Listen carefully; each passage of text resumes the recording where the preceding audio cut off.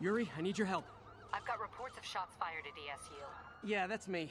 I'll explain later. But right now, you need to find.